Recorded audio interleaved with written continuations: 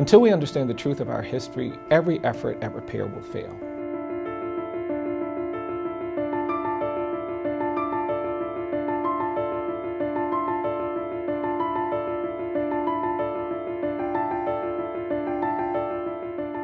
Most people ask the question, do you support reparations? Don't know what the word means. They think it's some check there is no sufficient check you can put in the mail. It means something much more dynamic, much more inclusive, and much more substantial. After apartheid in South Africa, there was a recognition that they couldn't get to a healthy place without a commitment to truth and reconciliation. There were convenings where people who had been victimized by apartheid and discouraged and traumatized by that bigotry could have place to give voice to it. If you go to Johannesburg today, their constitutional court is surrounded by the emblems, the monuments, the symbols that are designed to make sure no one forgets the inequality of apartheid.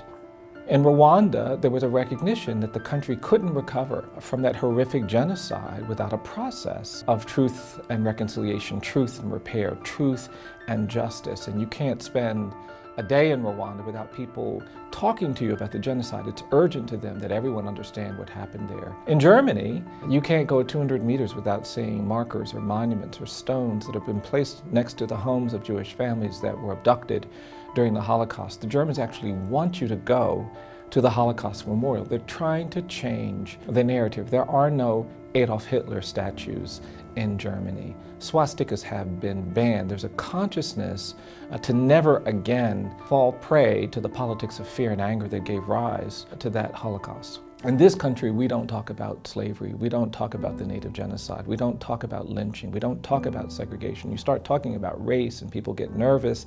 You start talking about racial justice and people are looking for exits. Our landscape is littered with iconography designed to romanticize the period of enslavement, to celebrate and honor the architects and defenders of slavery. People get very, very uncomfortable when you start talking about how we begin to deconstruct this legacy of bias and segregation. We talk about transitional justice in other places in the world. The State Department is even funded to assist in those efforts in Europe, in Asia, in Africa, but we've never done it in this country. And I think the time is now. In law school, you're taught if someone's rights are violated, there have to be remedies. And the remedies are shaped by the nature of the violation, which is understanding what the motives are, what the intent was, what's the extent of the injury is central to what kind of remedy you impose. And I think we have too many people in this country who want to talk about uh, truth and repair or truth and reconciliation and truth and justice.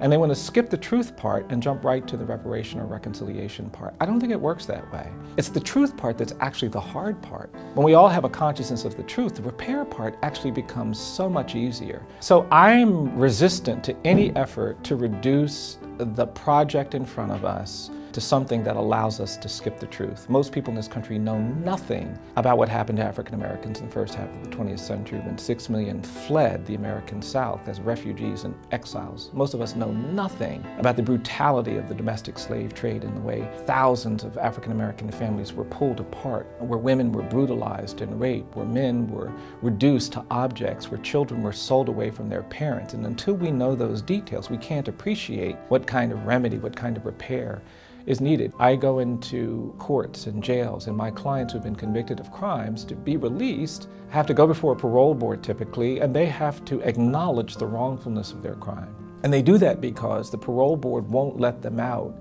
if they still distrust them to acknowledge the wrongfulness of what they do. They don't trust people who aren't prepared to express remorse and regret.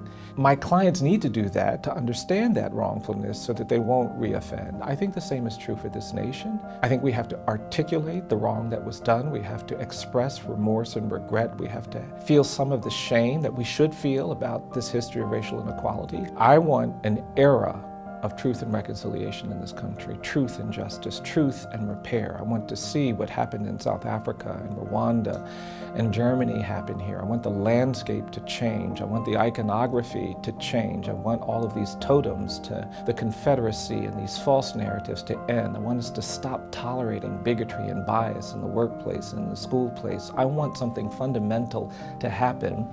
And then I want to experience something that feels more like freedom and equality and justice than we have experienced in this country today.